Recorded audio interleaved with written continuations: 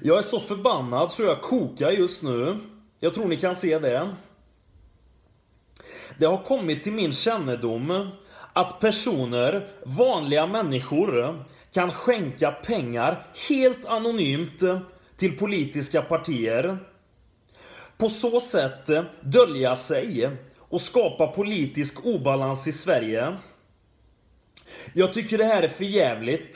Det är ett stort jävla hyckleri. Jag blir illamående.